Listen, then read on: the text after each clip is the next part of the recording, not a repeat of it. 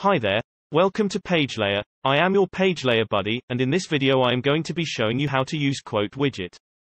Let's start by dragging and dropping the Quote widget from the left widget panel. On the right side is the display screen of your site, where you can view the live changes of your website. Here, on the left-hand side you will see different properties of your quote widget. First we will see content from here you can write your review or anything else as per your need. Also you can change background color as per your needs. You can also change text color as per your needs. From here you can set the space between different contents. Let's set top as 20 pixels and bottom as 10 pixels. From here you can set the typography to your quote widget. First is the font family where you can set the font family to your quote. Pagelayer consists of more than 100 Google fonts. You can choose as per your need from the list of fonts by just typing the font name in the search bar. Let's choose Poppins font for our quotes. Next is the font size, from where you can set the size of your quote with selected font family. Next is the font style, where you can change the style of your font to normal, oblique and italic. Let's choose font style as default for now. Next is the font weight, from where you can choose the weight of your font.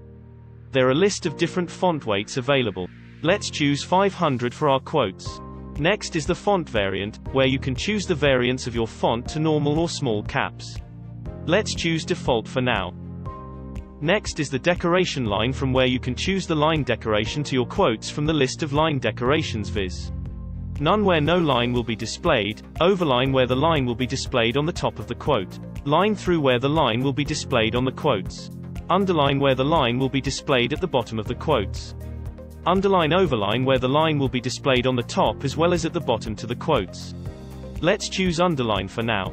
Next is the decoration style, from where you can set the line style to your quotes viz. Solid, double, dotted, dashed, and wavy. Let's choose solid for now. Next is the line height from where you can specify the height of the line to your quotes. Next is the text transform from where you can choose the text transformation to capitalize, uppercase, and lowercase. Let's choose capitalize for now. Next is the text spacing from where you can set the space between your text alphabets. Next is the word spacing, from where you can set the space between different words in your content.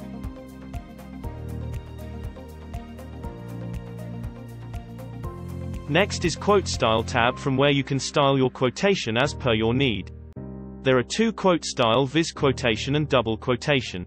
Let's choose the quotation for now. You can set the position to your quotation as default or overlay from here. Next is the size from where you can set the size of your quotation. Let's keep it 70 for now. From here you can choose the color in which your quote is to be displayed. Next is the alignment from where you can set the alignment of your quotation to left, center or right. Let's choose the left for now. Next is the Cite tab from where you can assign name of the cite person example, quote author name.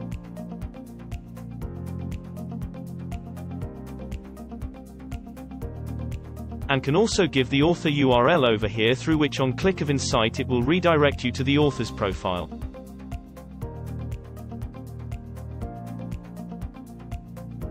Next is color from where you can set the color of your cite name.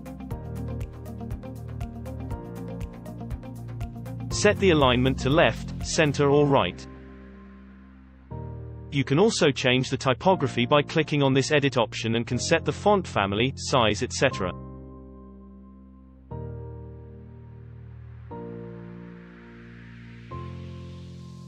Next is the left border tab from where you can set the width of your left border. Let's assign 10 for now. You can also change the color of your border from here.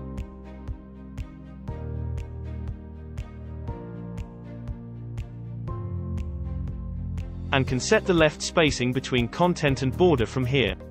Next is top-bottom spacing which will allow you to set space between top and bottom of the content. Don't forget to save your changes. To save your work click the update option. To preview your work click on this eye icon and you are good to go.